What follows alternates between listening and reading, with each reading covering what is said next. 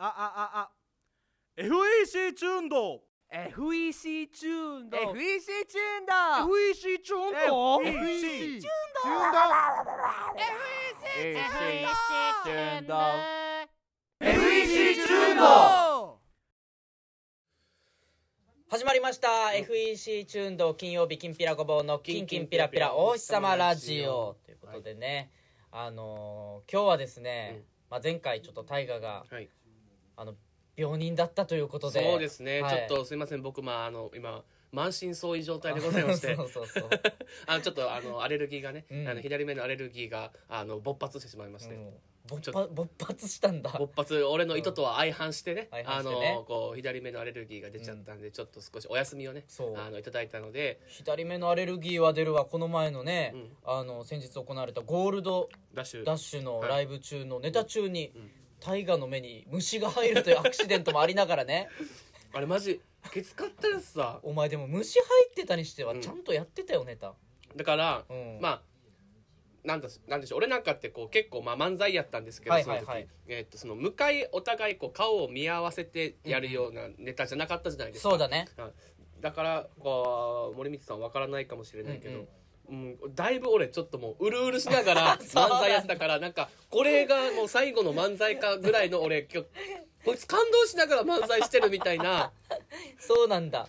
じゃあちょっとなんかかわいそうに見えたかもな役柄的になんか本当に泣いてるやつみたいな、本当に怖い俺演技派漫才してるから、はい、どっちかお客さんも、うん。あここまで入り込めるんだって感じた方と、うん。こいつキモ 肝漫才師いるなって。キモ漫才師だと思われた方もまあまあいるいるかもしれないですけど。でもよく考えたら格好もお互いキモかったしな、なんかちょっとね少しあの、スーツをお互いクリーニングあ僕はクリーニングも出してて、ちょっと用意ができなかったんですけど、えーお互いなんかねこううん。あのガチャガチャの気持ち悪い柄のはい。トレーナー、トレーナートレーナーつけて、はい。はい、なんか毒虫みたいなお互いね いろんな色が混じった、やっぱり衣装って重要なんですね結構ね、トレーナーつけてましたけれども。はい、皆さん今日はですね、はい。まあ、お気づきの通り、うん。収録放送でございます。もう年内最後の放送だけど、そうなんですよ、はい、収録になってますので、まあでもせっかくだから収録放送ですけれども、今年もね、うん。1年 FM 技能のリスナーにはお世話になりました、はい。楽しんでいただきありがとうございます。ありがとうございます。改めてなんか、うん。1年の振り返りなんかやっちゃうしちゃいましょうか。なんかやりそうじゃない、この流れだとね。この流れだと絶対に、まあ、今この FEC のねあの、うん。こう練習してる稽古場でちょはいっと音取らせてもらってるんですけど、はいはい。あの普通に中地普通に普通に声出して喋って大丈夫ですので、中地中地曽根がね今、はい、奥で、ネタ合わせしてますけど、あ全然 FM 技能1のラジオなんで、はい、はい、大丈夫です。リスナーも変な人しかいないんで大丈夫です。まあ、それこそね、はい。その中地曽根あそう。2人と僕なんかきんぴらごぼうはえっともうあとだから1週間ちょっとぐらいですかね、うん。えっと OTV さんの O−1 グランプリ、はい。あの決勝の方に残らせてはい。いただいておりますのでそうなんですよ、えーぜひともテレビの前でですね、えー正月三が日の中日でやりますから。うん。ちょっとなんでニヤニヤしてるんですか？めちゃくちゃガタガタ言わせ始めたなと思って いやいいんだけどいいんだけどね。いやそういう、はい。そういうネネタならねネタなんか今奥でネタ合わせしてるんですけど、うんうん。それならいいんですけど。すんません。そんな、感じなのか。楽しみですね、うん、とまあ O−1 グランプリに出場するということで、うん。まあ年内の振り返りで、えーで言うとまあそのね僕ら初めて、えーそう。今年は O−1 グランプリ。2022年の1月ね、はい。今年の初4月でめすか。はい、ん。えー決勝8位、えー予選8位で通過させてはい。いただきましはい。して、えー初めてテレビ、ねお正月ネタができましてうん。楽しかったですよね、楽しかった、うん。ちょっと結果こそ振るわなかったんですが、あのすごくえっとまあその当時ね少しまだコロナの影響もあって、はいはい。えー通常だと実際スタジオにお客さんも入れて、うん。えー見てもらって実際見てもらってテレビの前でも皆さん見てもらってっていう形だったんですけど、はい。えーその今年は、えー無観客の中、そうね。えースタジオで、えー、と関係者だけがいる中で、えーやらせてもらったんでなんか程よい緊張感でというか、うんうん、うん、なんかねガチガチになることもなくそうね、うん僕は楽しくできてたんじゃないかなっていう感じですね。印象でしたけどね。1月のさ、うん。いろいろ今カレンダー見ながらはい。何があったかなってあ見て思い返するんですけど。のいいかもねカレンダーなりこう写真のアルバムとかね、うん。1月の19日に、はい。あのとんでもないことが一応起きてて。1月19日？1月19でも日結構何でもない日でしょ水曜日。なんですけど、うん。この日が、うん。あのとある方から、うん。ちょっと YouTube を、うん。FEC で YouTube のその新しいなんかこうコンテンツ作りたいっていはい。うことを依頼受けて、これはその我々 FEC の YouTube チャンネル。FEC の YouTube を、そのまあうちうちでね、はいはい。あのやるっていうことで、はい。こう集められたメンバーが、うん。森光中地河野説なんですよ。うわ！今は亡き子の今は亡き河野説と、はい。で何やるんだろうと思って後輩芸人ですねこの説、うん。うんうん。ちょいろいろ聞いてったら、はい。なんか地下格闘技に出るっていうえ？企画でこの3人で。あ地下格闘技とかってあれじゃないんだ。なんか漫画のお話じゃないんだ。じゃなくてなんかほら実際に、うん。まあ、あの地下芸人とかいるじゃない、あーはいはい、はい、ああいう感じで、はい。そのプロライセンス持ってないけどなんかこう力自慢たちが？そうそうそう。格闘技をやるみたいななんか沖縄でも実際にあるらしいんですよ、そういうのが。それに出るためになんか毎回その配信では筋トレとかするっていう。それに向けて。うん。うん。あのちょちゃんとやめた方がいいかなっていうミーティングをした日でしたね。19日、うん19日そはれカレンダーに書いてあるんだ。そう森光中地説って書かれててあああれだっうん。て今怖いね。思い出しました。あ1月2日は、うん。それこそ O1 がね O1 そうそうそう。日曜日あって、終わりで僕はい。あのオードブルの松田健吾兄さんと、はいはい。えーうるま市にいるああ。デコボコトラベリング両党のお家はいはいはい。までドライブしようっつっうん。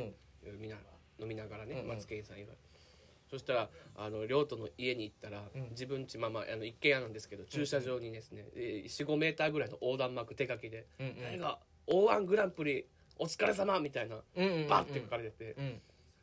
でまさかこんなの用意すると思わなくて、うんうん。2人とも松圭さんとケテケテ笑いながら、うんうん。その大きく文字書いてる右下にちょこんと「森光もお疲れ」みいたやいいやいやいや。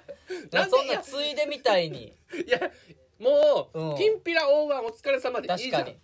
ただもうあいつはもう多分 O1 も実際見てるし、うんうん。まあ、正月だからお酒も飲んでる中、でまあ大河とも合うしね。そうそう、っていうのもあってじゃあ横断幕作ろう大河さんも来るから作ろうってなって、もう一発目の書き出しがもう大河で感じだったから、うんうんうん。取り返しつかなかったんだろうねきっとね。書いちゃった後にうんほら亮斗ってやっぱりおバカじゃないですか、はいはいはい。きんぴらで書こうっていう発想じゃなくて大河さんと会うっていうことのうん発想が先行しちゃったから、うん。ああいう横断幕を作っちゃったんかなってい確かに。まあでも可愛かったですけどね。いいんですけどね、うん。うん。うんあと他なんかあります？1月の31日ですよ、うん。僕本当に忘れてたんですけど、うん。僕ヒューマンアカデミーの CM のナレーションしてますね、あそれってどうなったの？ちゃんと流れてるこれがね一応流れたらしい、うん。なんかオープンキャンパスのやつでその自分でき聞いたテレビ CM でしょ？テレビ CM だけど、なんか時間帯とかがよく分かんなくて。ああまあまあそうか CM だからね。俺もそうそうそう。あのー見れてなかったんだけどデータもちょっともらえてなくて、うん。見れなかったんだけど、はい。あの一言だけセリフ入っててでで一応オーディションがあったんですよ、はい。なんか一次セレクションとうん。二次セレクションがあって、うん。で二次セレクションで残った5名ぐらいが一応全員出演だけどあの1人だけなんかメインでやるみたいな、はいはい。で僕はもうサブの方で残ったんですけどど。そのオーディション会場が僕以外全員あの10代女子で怖っ。10代の女子なんですよ。キャピキャピしてる。嫌だね。怖かったよ俺。中学生とかいたんだから女子中学生とか。でみんながなんかさあの乙女ゲームとかはい。での話とかで盛り上がってるわけよ、はい。その中俺だけ一人だけなんか10代の女子に気ぃつかれて「うん。なんかおいくつなんですか?」みたいな「ああの28です」って言って「あいいいいですね。この年になっても新しいチャレンジって」ってもう10代女子が 目を泳ぎながら俺にあからさまに気ぃ使って俺もさもう気まずいからずっと下見ながら、うん。やってほんと気持ち悪い気持ち悪い日だったこの日も。だから1月は気持ち悪い O1 以外全部俺。本当だ。うん。1月は気持ち悪かった 2月なんかありました？2月か ?2 月。あ。1月の末。うん。30日ぐらいに、はいはい。あの僕らあのこれどこかこれ。ひ女村かどっかで、うん。東村かなんか撮影してますね。撮影？みんなで。あ森光さんいなかったっけ？あいやいたよ。あの。あーえっと友次さんお姉さん。社長の友次さんのお姉さん妹？のお姉さんだよね。お姉さんうん。のなんかあの映像作品のうん。撮影をしたい。なんかみんなこの海のこのなぎはいはいはい。浅瀬のなぎの状態にこううんうん。こうなんか人を立ってるっていうシチュエーションではい。映像を撮りたいからそのなんかちょっとお手伝いで映ってほしいってことでうんうん。お呼ばれしてうん。これ場所マジどこかな？なんかないかな？位置情報だったかあな？撮ってないな。でもとりあえず北部かそう北部でやりましたね。結構遠いところの海辺でうん。皆さんこうなんかあの砂に埋まりながら撮影して、はいはいはいはい。うん、確かに。みんなあの体調あ弱くして帰ったっていう。崩すまではいかなかったけどめちゃくちゃ寒かったよなあの日な。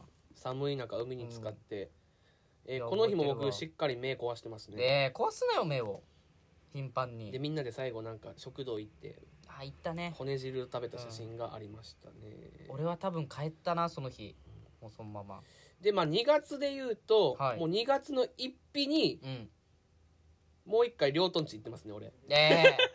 行き過ぎだろ。月1で両トンチ行ってますね。そしたら両トンチ行ったら、あのーその日はあのダミー両トが用意されてました。どういうこと？このあこれ今亮とね。両トンのその今手元に動画見せてるんですけど、マツケンさんの車で両トンチの大河が家の手席で動画撮って。通ったら、両トンチの,、うん。あの玄関の隅にうん。両トが立ってるわけよ、あ本当だ。あ両ト立ってんなーって思ったら、うん。玄関から、うん。あの両本物の両ト出てきて。何やってるば。亮と亮とが亮との洋服がかけられてますね。そうそう両トの洋服。あの綺麗でにダミー両トが作られてるっていう一ボケをしたっていうのがこう2月の入りですね。確かに。幸先いいな幸先いいかな。それで言ったら2月の、うん。あの89はペイデイで、はい。あの僕らのねこのコント、えー映像ユニット、うん。はい。きんぴらごぼうとデコボコトラベリングとオードブルのはい。3組でやってる、これでうん。CM 撮影、あうん。ほん2月あったね。やってますね。うん結構お仕事ねうん。ガッと入ってきましたからねこのペイデーメンバーで。でいちなみに2月22日、うん。えー、222のはい。ゾロ目の日にはですね、あ違う2月22じゃないや23だ。23にはですね、はい。僕たち初めてのフラダンスを踊りに行ってますね。うわ！懐かしいですね。写真あるかも。なんかこう知り合いの紹介でなんか、世界トップみたいな日本1位だったっけ、日本一位だったんじゃない？日本1位の男性フラダンスの人に、うん。人が教室をやってて、うん。なんかちょっといろいろ体験を募集してるからやらない？みたいなやってみない、みたいな話が来て、はい。どんな感じなんだろうと思って行った時のやつですね、うん。あります。写真がありますよ。あー。うんみんなで手を掲げながらフラダンス踊ってる人。ちなみに僕は本当に楽しくなかったですねこれ。男性フラダンス。もっといけるかなと思ったけど意外と難しかったねこの体上半身と下半身の動きが意外とバラバラだったなあとなんかやっぱりこう思ってるフラダンスと全然違くて、はい。あの手をこう横になんかこうよなびかく見るな。なびかすフラダンスとは全く違かったので、うん。あいろいろいろフラダンスにもあるんだなという感じでしたけど、2月は、うん。でもまだそれこそさっき森光さんの話にも出ましたけどおせっかいピーナッツがうん、まだ FEC をあのやめていなくてですね。あそうね。はいえー、2人ともなんか知らんけど疲労困憊の動画が撮られてますね。えあとは、ー、もうそんなもんじゃない？うん、2月の後半にはい。あのアクアチッタ国際通り沿いのアクアチッタのえっと上このインフィニティプールがあるところですね、はいはいはい。屋上に。そこで、えー僕らネタライブ。あやってるんだ。ネタを披露して、えー北海道の農家の同世代と仲良くなってますね。あーいましたね。はい。小木順小木潤うん。その子に僕がさい僕のあの今までの最高傑作のうん。杖をプレゼントしてしまったっていう。なんでよ。あしゅんさん今日会がしゅんさんがった人ばっかりあ帰られますねしゅんさんお疲れ様です。お疲れ様でした。おはようございました。皆さん。し今しいてやってますかプリューしゅんさんが帰られましたはい、はいいやーでもなんかこう振り返ると大したことしてないな、まあ、でうんまあまあ、でも行ってもまだ2月ですから。まあまだ2月だからな。で、僕なんか、きんぴらごぼうの月1ライブもまだ始まってなあいです。そうですよ、はい。えそれ3月に始まったんだっけ？4じゃない？4か。うん。4月に始まった、はあ。でこうガーッとやっうんまあで3月とかも飛ばしますか。僕が、えー初めてススノーボードをしましたね。あえ？初スノーボードをしあ違う違うやん。んだえ？これなんだろどうしどうした？こう違うと思うなまだだな。3月はなんかあるかな？いや初スノーボードかもな。はい。3月はうん。俺はやけにラーメンの写真が多いね、いやいやうん。まあ、ラーメン好きだからな大河は。うん。あ3月はうん。僕一番下の弟14個下の弟がはい。中学校卒業して、うん。まあまあ今こと高1ですけど卒業式の写真があってうーんちょっとよくわかんないな。それこそ4月になるけどうん。4月はえー、オキスポフェスタみたいなあイベントがあって、はいはい。それで僕たち賑やかしではい。参加になって、はい。なんかガチプロボクサはい。ーにシーサーと皆川さん。そうシーサー皆川さんに、はい。僕がなんかこう1分間なんだろう、うん。あのパンチし続けて、はい。当てたらあのーあなたの勝ちですみたいなのでも、しこたましこたま20しこたまやったけど20秒ぐらいでもう俺がダウンしたね。結構やっぱ体力いりうん。いるもんね、それぐらいかうな、ん。あと3あれの撮影もしてる。えっとそれこそペイデーのまだ。あえっとさっき話出たのは、うん。えっとこの沖縄県がやってる健康管理アプリオーロラの、えっとこのウェブ CM の撮影だったんですけど、ーうんうんうん。3月末ではうん。えっと琉琉リハ琉球リハビリテーション学院さんのテレビ CM の撮影を、えーしてます。えー。えっとそう琉リハ所属の女子サッカーチームの皆さんあとやったね。はい。えっとサッカーコート実際これはどこだったかな？女村まで行ったっけ？いやいやも金とか金だったんじゃない。金金のサッカーコートまで行ってうん。うんやってますね。うんうん。結構お仕事してるね。意外とちょくちょく入ってまあマツケンさん主導で、うん。ああいうのも始まりましたけど楽しいもんですね。やらせてもらいます、まあそれ以外にもね、はい。細かいお仕事はしてますけど、はい大きいとこで言うとね、え待ってくれ。ん？俺今年の1月めっちゃ重要なの忘れてた。何を俺入籍してるよ。おお お前入籍してるやし。入籍してるやしお前よ。言えよ入籍は。入籍を最初に。法案より先に。多分多分あのー普通の社会人の人ならあああ絶対覚えるのよ。入籍しただって俺はい結はいはい。局新婚1年目だからね。まだ1そっか。年結婚して1年たまあもう彼女さんがずっともう長いこと付き合ってたからそうね。あのもうなんでしょうこう新しく付き合ったっていう感覚もそんなに大きくなかったんで、うん。ちょっと今あの確かに。危なこれ危ない危ないよ。聞いてたら大変なことになるよお前。もう遅いかもだけどなこのタイミングでも。ここまでだから聞いてなかったらもうやばいってことでしょ、そうだからそのこの頃ぐらいかな。これちょっと後だったか忘れたけど、うん。あのーそのちょっと大河をあの軽くねあのうん。ご時世的にもあのー大きくはできないけど、はい。FEC でこうお祝いしようみたいな、はい。あの少しあったじゃないですか、はい。それが4月の頭にあ4月の頭。ね。はい、じゃあその時さ、うん。あのーまあ、僕のこう習いたてのこう知識習いたてというかまあ素人あれですけどカメラで、うん。あの2人の写真を撮ったんですよ。はい。であのそれはなんかこう2人にはこう伝えずになんかうん。こう思い出のアルバムみたいのを作って、はい。最後をこうバーンとなんかあのこの今日撮った写真が出たらいいんじゃないみたいなはい。感じで、うん。あのやるって言ってこういろいろ準備してたんですですけど、うん。あのまあ、写真撮るじゃないですか、うん。なんかねあの元志さんが一応編集だったんだけど、はいちょ元志がねもうあいつダヤーじゃないですか、うん。だからなんかこのカメラも難儀難儀しなんですよねそうそう難儀 C なんで、うん。なんかもう別に iPhone とかでも軽く撮ったやつでいいんじゃないですかねとかあの軽く最初の衣装合わせではい。送られてきた写真を、あのマネージャーが送ってきてくれたやつをこれでいいんじゃないですかねみたいな。いやお前せっかくここまで準備してスタジオで撮ろうって準備したんだからで、まあ、一応ちょっとあれもあったんですよ。なんかその間に間に合うのか間に合わないのかみたいな、はいギリギリでねになって間に合わなかったらはい。やばいから、ちょっとどうしようみたいなのもあって、はい。でそれであのあのまあそういうこともあったんですけど、はい。であの最初本当にもう iPhone のうん。マネージャーが撮ってきた画像で作ろうとしたから、はいちょちゃんとこれはやろうって言って、うんあのやった写真が、はい。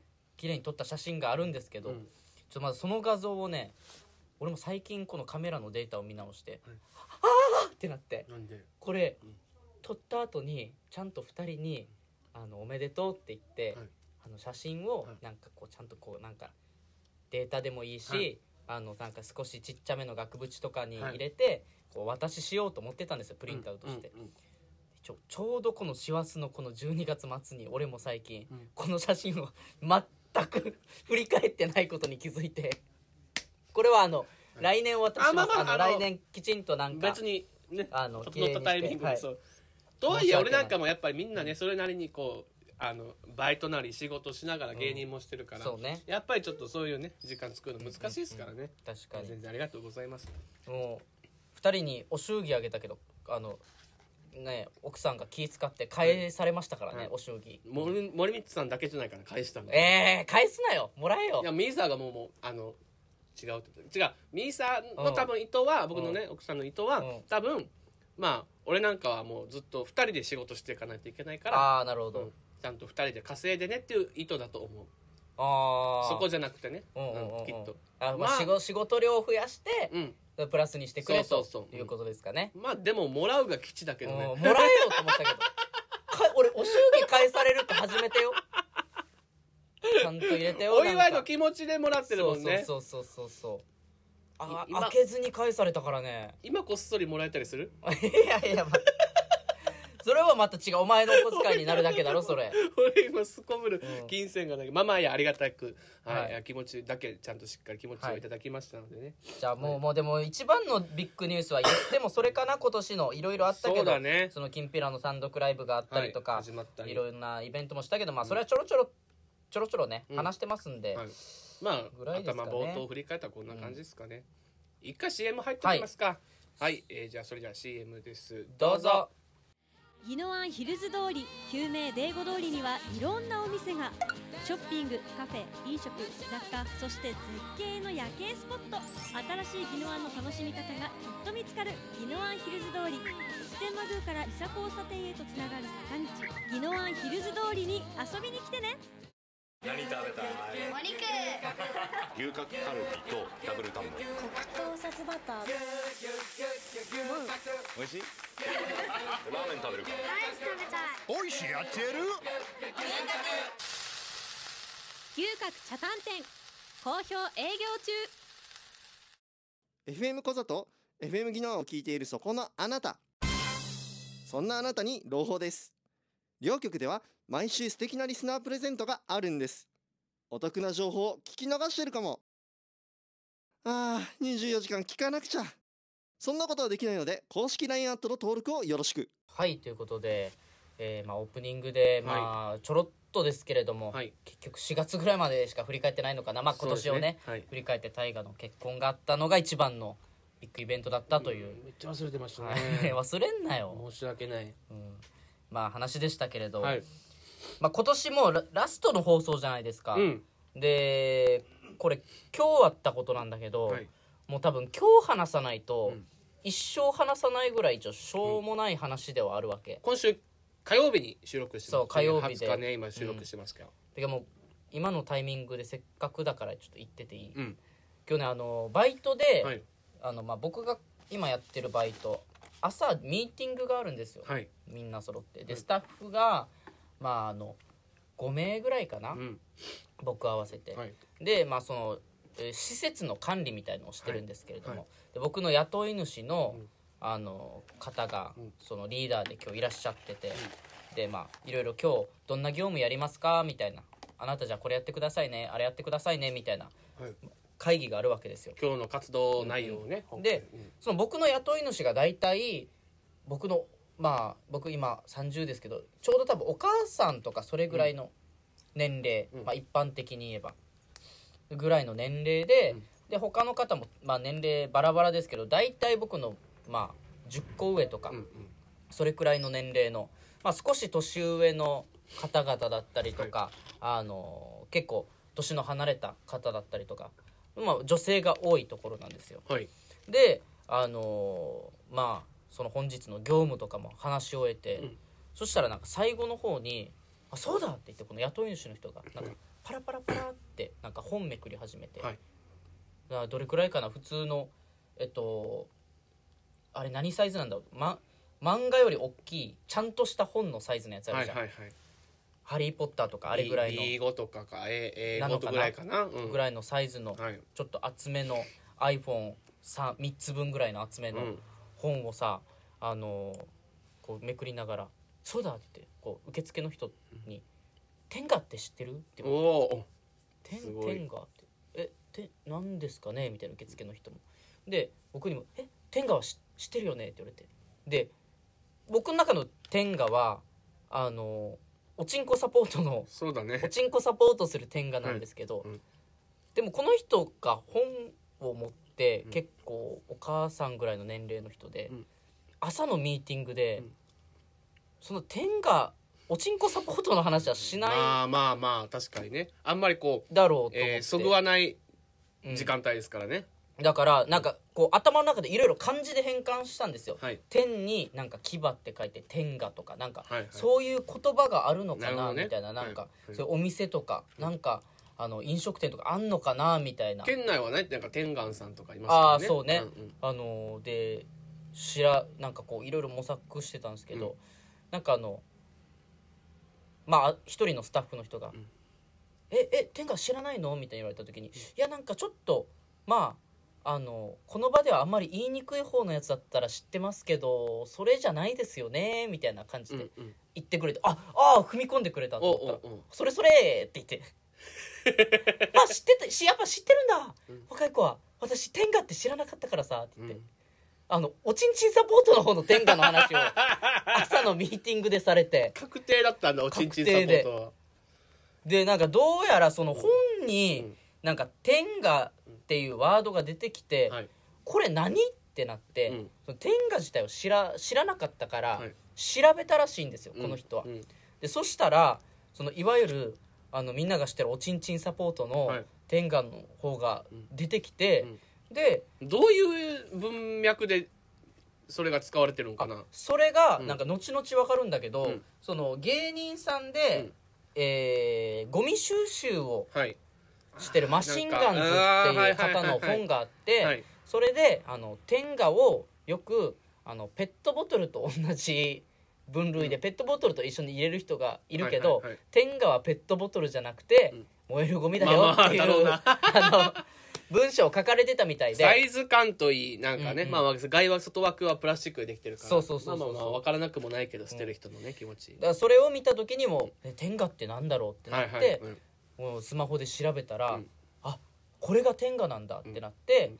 でこれよく薬局とかで見たことあったんだってやっぱり、はいはいまあまあね。そう、うん。でこれ何なんだろうってずっと思ってたらしいんですよ、はいはい。ああこれおちんちんサポートのやつだったんだと、はいはい。この人はおちんちんサポートとは言ってないけど、はい。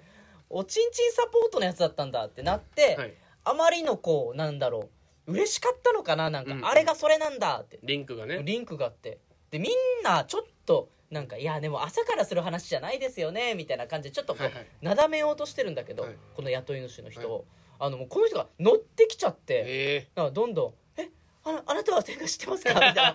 全員に聞くわけよ。え知ってた？みたいな。天下 MC をしてるわけだもん天下 MC してるわけで一人の人がまああの言いにくい方っていう表現してたから、はい。僕もああまあ僕も言いにくい方だったら知ってますけどそれですか？みたいなあそれそれみたいな話で止まってるからはい。一、人のスタッフは本当に分かってなくてなるほどね。えでなな何？みたいな感じになってて、であのまあまああの一応僕が男だから、うん。まあ他の人よりか言いやすいじゃないですか、はいはい。でもねそういう朝のミーティングでそういう場でなんかおちんちんサポートですよっては言えないから あのまあちょっとアダルトグッズですよですよねみたいな感じで、で隣の人が「ああじゃあもう大丈夫大丈夫それで分かった」みたいな感じで言って、であのまあ場収まるかなと思ったら「いやでもね本当に天下って薬局で見たけどねってこう天下の、はい。あの衝撃をさ天下のどう利用されてるか云々よりもそうそう。パチンってハマったのが気持ちよかったんでしょ、ハマったのが気持ちよかったんだと思うんだけど、あの一応僕に「天下使ったことある?」って聞いて。き て踏み込み天下だ。踏み込んでくるわけよどんどん。天下でどんどん話のアクセルを踏んでいくわけ。まあねどううんその女性の方はあんまりこう手にするタイミングがないないかない人が多いでしょうからね。ないけどうんうん。なんかあのでもなんか本当に興味津々で、うん。で一応俺もある実際にはあるよ使ったこと、うんうん。使ったことあるんだけど、ちょないです。まあね。さその朝のミーティングでは。天下と消費者金融いった話あんまりしたくないしない。よ、人に。うん、そしたらなんか,、な別のスタッフに「なんか今度買ってみたら?」みたいな感じで「いやいや」でそのスタッフも「いや女性は使わないでしょ」みたいな。まあそうだね。話して、うん。まあまあ和気あいあいとしながらだったけどまさか今日こんな朝から天下の話で盛り上がるとは思わなくて。だいぶアットホームな感じなのかな職場がじゃあ。ドームなのかないやどうなんだろう。ちょっとわかんないですけど。まあ僕が芸人やってるっていうのも分かってて、うんあのちょっとそういうなんまあねか踏み込んだ何かその面白みのある話をしてくれたのもあるかもだけど、鑑賞しながらちょっとこの柔らかくしながらそういうお話ができると思っての、えっと切り出しだったかもね。そうそうそうそう、もうでもその後バッキバキに働きに行きましたねみんな。しっかり。確かに。しっかり仕事はして。なんか変なところにさこう転がってもあれだから、うん。ちょっといつも以上にミーティングはみんな頭働かせたでしょうね。そうそちゃんと働きましたね。そっかでもうん。使わないもんな天下は。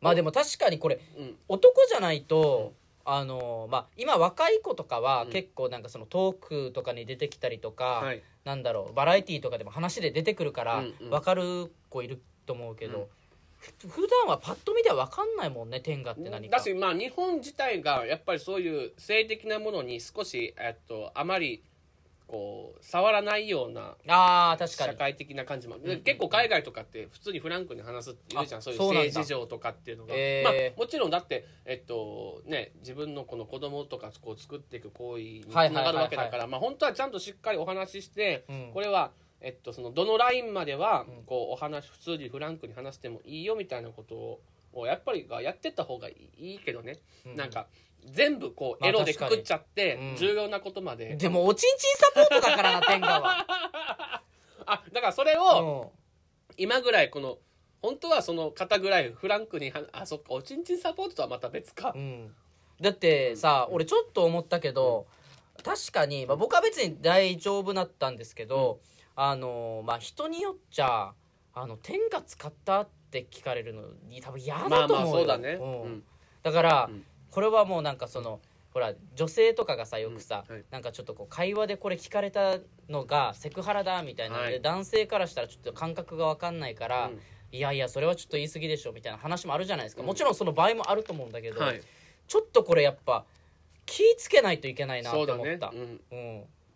まあだそのだからそのそのそれが多分日本が少し遅いんだよね。きっとこのえっと性的事情というか。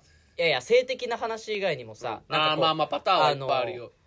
これはおどうなんだろうっていうのはあるじゃないですか、うんうんうん。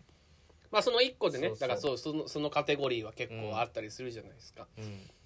なんかそのえっとよく女性の人が言われるのはなんか結婚しましたっていう発表をしたら、うん。あお子さんもはどうなんですか？みたいなのを聞かれるのが嫌だみたいなのがいるっていうだからその、うん。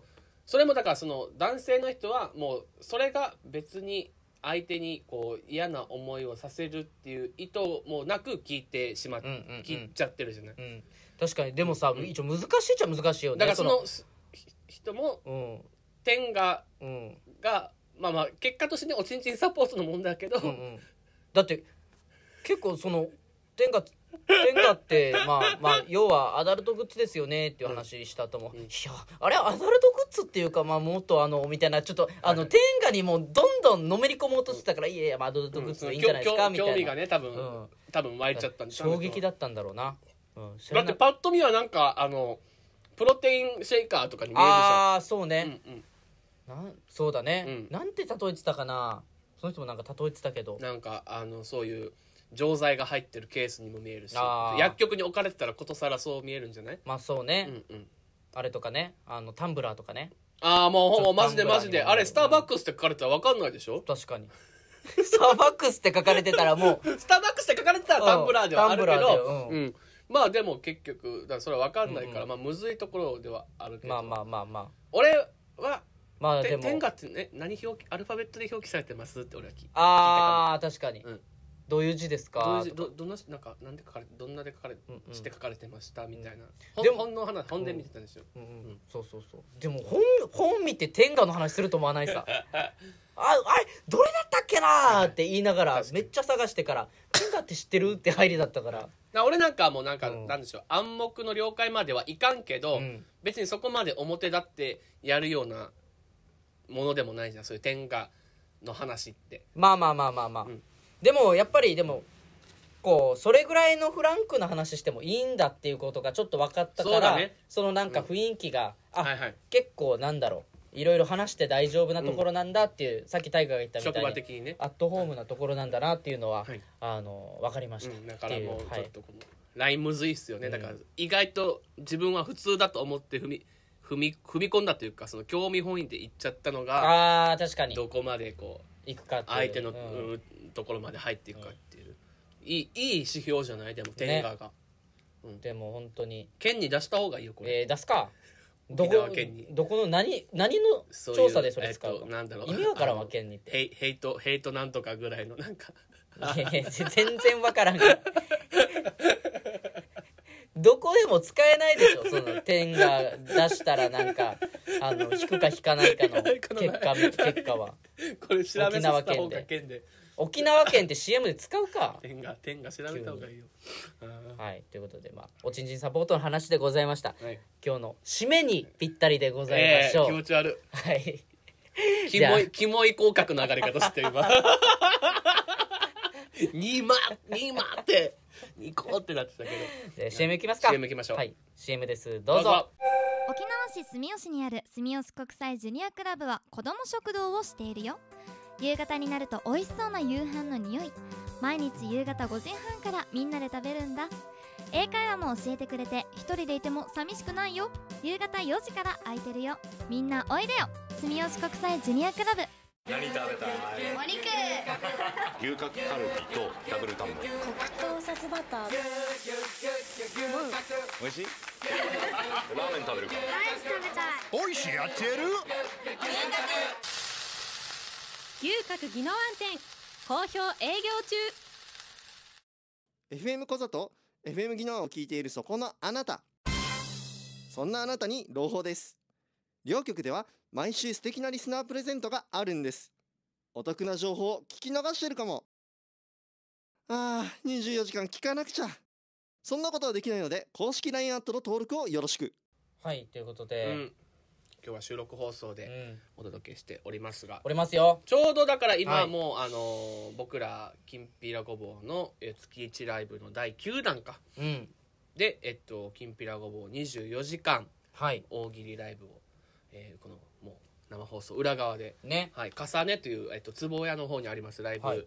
えースタジオの方で、えーちょうど今真っ只中やってるのでもし今ラジオ聞いて、うん。えっとだから次の日の、はい。えー夜の10次の日の俺なんか夜の10時までやってるんだ。夜の10時までやってるよ。朝の10時でやっと折り返しですもんね、うん。えー夜の次の日の10時、えー、と24日クリスマスイブの土曜日のはい。夜の10時まで、はい、えー大喜利をしてますので、はい。えーもう置きっぱってことですもんね。うん。えーやってますのでぜひ、えーもしねこのラジオ聞いて来れる方は、えー、壺屋演芸場重ねはいまで、えー来ていただきたいと思います。ます。当日チケットも、はい。えー用意してまして、まあ、2000円で、え1回入って12時間見て外にご飯食べに行ってまた戻ってきてっていうこともこのチケット1枚で、はい、はい、出入り自由です。なってますのでぜひ来てもらいたいでです一応配信もお！あのーちょうど今収録日今日ですね、うん。えー準備が整いましてできることになったので、うん。またあのー今日はねもう僕たちやってる途中だから対応できないと思うんですけれども、まあでもメール送ってきてください、あそうですね。もしあれだったらどうにかして途中でね大河がコード送りますんで。うん、対応しますんで、はい。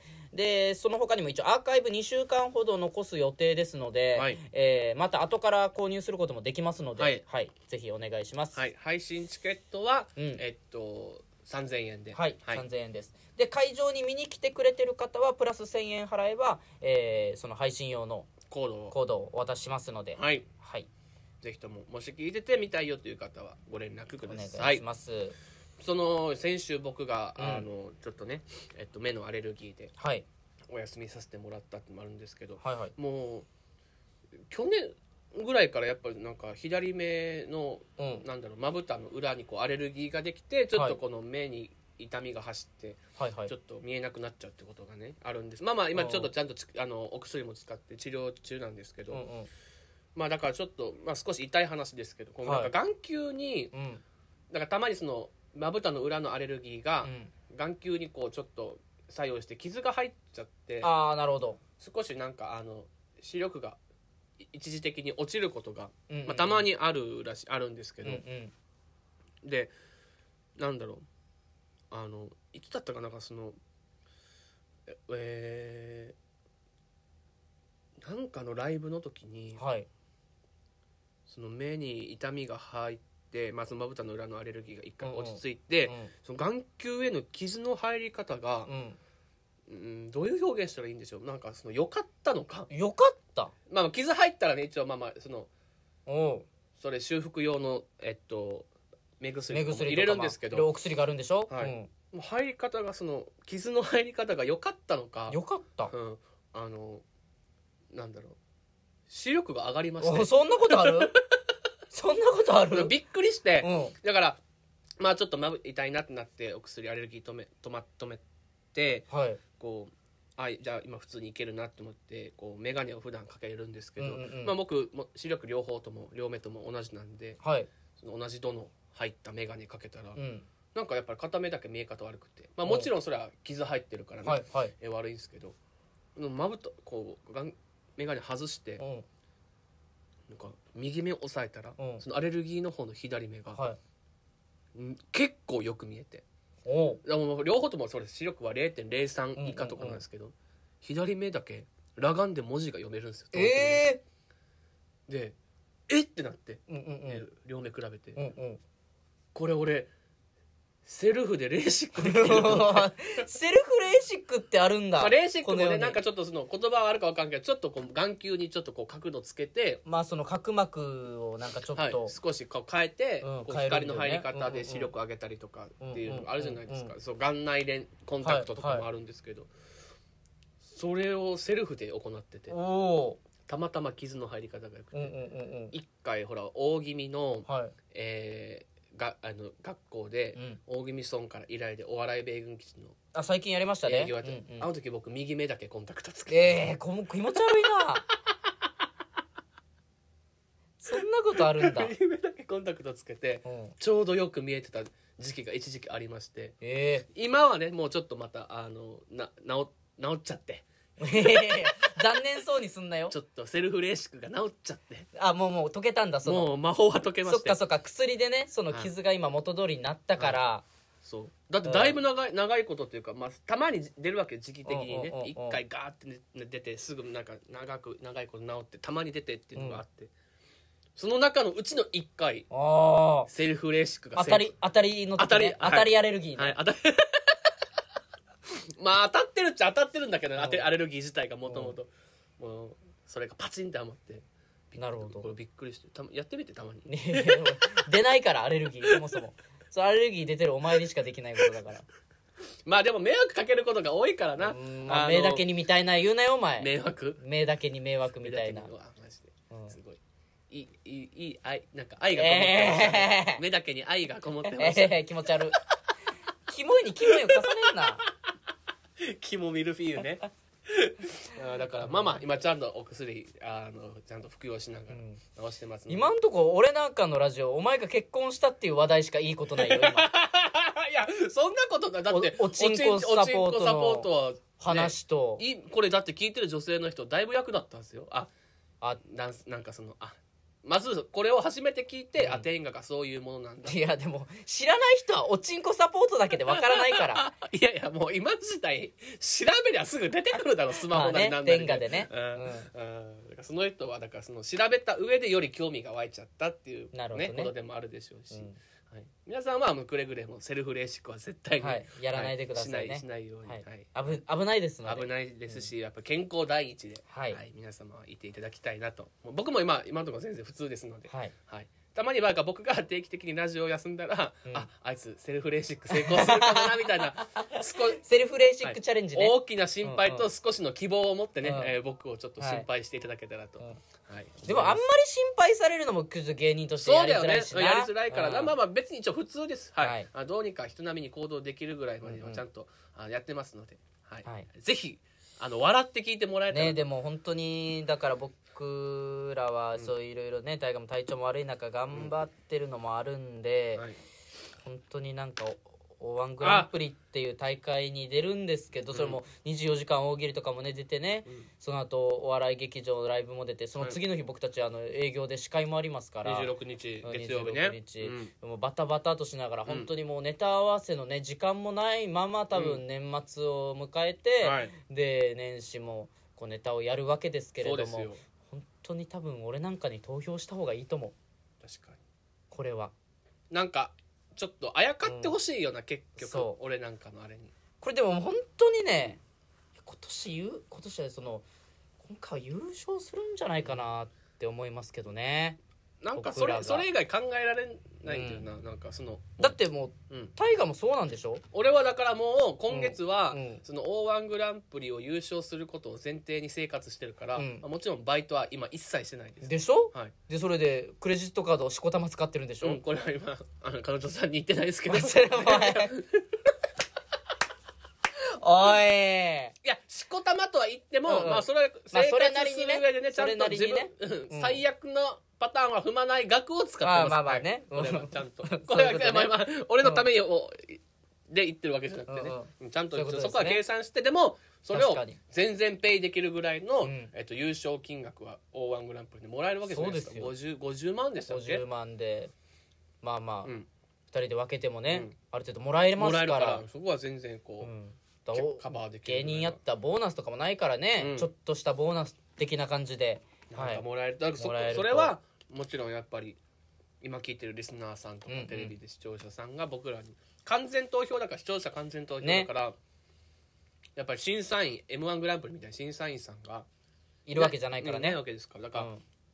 結構皆さんの力がはい。大きく作用する大会になっておりますのでお願いします。ぜひとも、はい、僕1月2日お昼ぐらいですかね。お昼はい。12時からはい、まあもうお正月ですから。OTV8 チャンネル。お家の中にいる方もいらっしゃると思います。多いと思いますので、はい。ぜひ、えー僕らに投票と。なんか電話投票もできるみたいあーみたいですね。ネット投票とまた別うんうでん。できるみたいですから、もう電話投票もしこたましてください。何票も一人何票もやってほしいですね。10, 10円かかるみたいなんですけど、うん。もう僕なんかが優勝したらもう,、もう全部その10円をなんかあの、うん。あれします。いやだからお賽銭だと思えばありがとうございます。ああそう確かに、うん。お賽銭だよね。僕らにだからさ,、うん。さっきも言ったけどちょっとあやかるぐらいの感じでみんなの災いとか全部俺なんかに振ってもらって、うんうんうんうん俺の目のアレルギーでそれは補填するんで。そうね。セルフレシックに変えてね。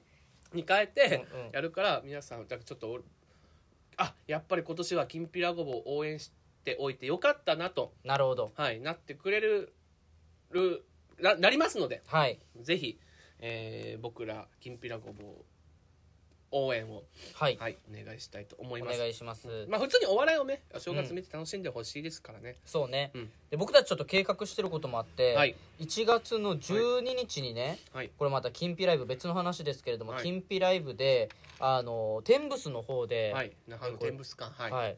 第金ピライブ第10弾かな、うん。で一応あの天ブスさんの木曜公演っていうのに、まあ、ちょっとあやかってはいるんですけれども、はい。主催はあちらの方にはなるんですけれども、はい。一応僕たちのこう持ち込み企画というか、はい。えーそれでやらせてもらってます「はい。えー新ゴーパチ組踊り」という、えーうん組踊りの実演家の中峰義盛とはい。一緒に、はい。えー僕たちでライブをします。これあの組踊りを題材にしたライブではあるんですけれども、めちゃくちゃバラエティーに寄せた、うん。はい。あのトークを交えたり僕たちのシンプルにネタはい。あの組む組踊りのそういうなんかこう、えーワードとかも取り入れたネタだったりとかを、うん。あのやりますので,、はい。でもちろんしっかりとしたその組踊りの唱えだったりとか、うん。歌は吉森がはい。歌ってくれたり、えーそういう素敵なライブがあります、で本物の組踊りはね、あのそういう劇場であの役者さんとかがいて、えーいろんなこう演出があってはい。行われるものなので、うん。ちょっとあの通常の組踊りとは全く違う、あの僕たちが、えーその組踊り実演家の吉森となんかこうお話をする、まあ、トークを交えながら、あのいろいろと、はい。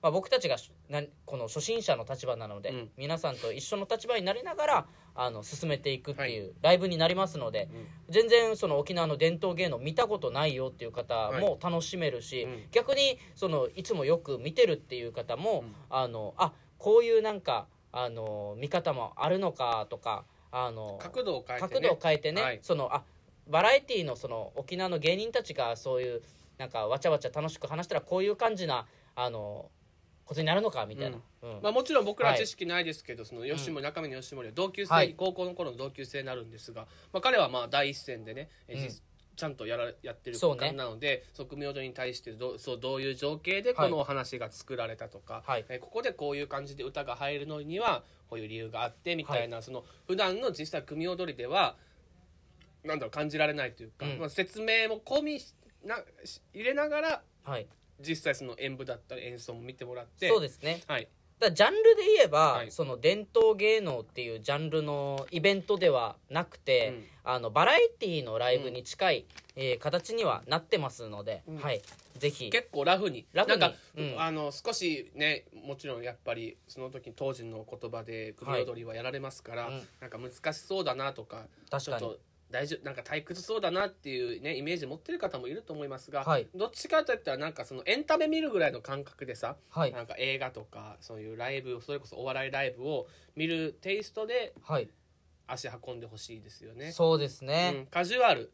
だいぶうんカジュアルで敷居をね、えー低くして、えーライブをやっておりますので、はい。はい、えーこちらも気になった方とかいましたら僕らの SNS またはあとこの那覇市文化展物館のホームページ、そうですね。はい、にもあの詳細なりチケットのお問い合わせができますので、はい。そちらまで、えー調べてご連絡いただけたらと思います。お願いします。那覇市文化展物館、えーそれからきんぴらごぼう2人どっちかの SNS まではい DM なんなりとお問い合わせよろしくお願いいたします。もう残りあと2分ぐらいですけれども。そうですね。あの一応せっかくなんで、はい。あの今日今 NOW でやってるはい。大喜利ライブのね、おう、うん。ちなんで、うん。あの大喜利でもやります？最後1分ぐらいで。すごい。なんかお題を俺なんかに直接 DM なり送ってきても面白いですけど、ね、ああそうね。今聞いてる方もぜひお願いします、はい。出していいですか？今日実際に多分やってる、うん。この後やるお題なのかな？はい、はい。いいですか？はい、出しても、1時からのじゃあお題になるのかな、はい。うん、あ違う12時からあこれ一番最後らへん最後らへんのお題だね。はい。はい喫煙者の肩身を広くしてください、肩身が狭いですからね。うん。選手の肩身広くしてください。うん。えー、1本吸ったら国から1000円キャッシュバック。いや広いな。広いでしょ？広いな、うん。だこれだからやってるんだもんってなるもんな。そうそうそうそうそう。なんかもちろん確かにみたいななんかあります？逆に。あもうもう終わっちゃうかな。もうもうでももうあとそろそろ。20秒ぐらい。俺お前俺だけに答えさせて。まあでもあこういう俺も俺も言うか。なんかいや俺自分で考えたのあれかなと思ってフェアじゃないいかなと思ってやいや全然いいですよいいですよ。えじゃあ別のお題にしようかな、いいよいいよ。喫煙者の肩身身をを狭ひ広く広広くしてください。えー、ニコチンを全部ラベンダーと呼ぶで も概念の感覚なんだ。もうなんか実際何か影響があるとかじゃなくてなくて。おのおののこの考えの概念なんだ、い概念を同じにする。ニコチンとラベンダーは同じにする。いけどねうん、いや俺俺大喜利はねなんかあの評なんだろうな良し悪しじゃなくて、うん。俺は評価するお笑いだと思ってるからさあまあまあまあ。なんか何が間違いとか、はい。まあ、楽しいライブになってることを願って、はい。まあ、まあ気になった方は配信チケットのお問い合わせもよろしくお願いします。しえー皆さん、えー年内もきんぴらごぼう応援ありがとうございました。ありがとうございました。ラジオも聞いてくれてありがとうございます。引き続き、えー来年度も僕らきんぴらごぼうそしてこの FM ギドアのラジオをよろしくお願いします。じゃあ最後のいつもの締めやりましょうか。はい、えーそれでは来年も聞いてくれなきゃ。キンキンピラピラ星に変わってお仕置きよアデューキャンさんあとはよろしくお願いします。お願いします